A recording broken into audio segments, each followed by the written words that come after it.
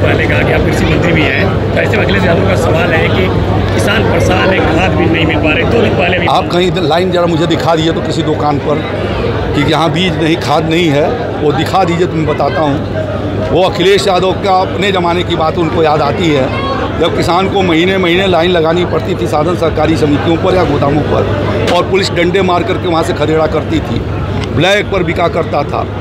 सौ सौ रुपये दो दो सौ रुपये ब्लैक की बोरी जारी करती थी। वो ज़माना बीत चुका है।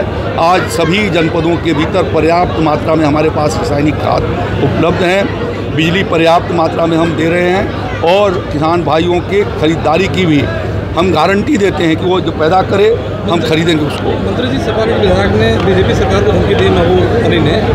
सपा के एक विधायक है, महबूब अली, उन्होंने बीजेपी सरकार को धमकी दी है कि मुसलमानों की आबादी बढ़ रही है, अब तुम्हारा राज जाएगा क्या कहेंगे? अब अब आप सोच सकते हैं कि उन लोगों की मानसिकता कैसी है। इन्हीं मानसिकता के लोगों ने देश का बंटवारा किया और पाकिस्तान बना।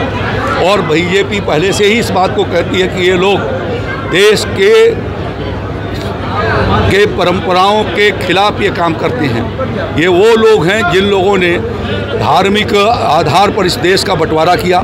ये वो लोग हैं जो हिंदू स्थान तीर्थ स्थानों पर आज गाय की चर्बी और मछली का तेल मिला करके लड्डू प्रसाद के रूप में बंटवाने का काम आंध्र प्रदेश की जगनमोहन रेड्डी की सरकार ने किया, जो यूपीए का एक घटक रहा है और उनकी सरकार को कांग्रेस पार्टी का समर्थन रहा।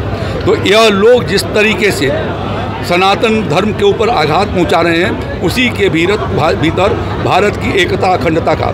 ये नक्सलवाद का समर्थन करते हैं, ये आतंकवाद का समर्थन करते हैं, ये आतंकवादियों का समर्थन करते हैं, ये देश को टुकड़े टुकड़े करने वालों का समर्थन करते हैं तो उनसे कोई उम्मीद नहीं की जा सकती। भारतीय जनता पार्टी और देश की जनता उनका मुँहतोड़ जवाब देती है और इन्हीं कारणों से उनको पब्लिक ने नकारा और देश के भीतर तीसरी बार मोदी जी को प्रधानमंत्री बनाया। उत्तर प्रदेश में योगी जी को दूसरी बार लगातार प्रधानमंत्री बना रही है और तीसरे बार भी योगी जी को ही मुख्यमंत्री उत्तर प्रदेश का बनाएगी। धन्यवाद।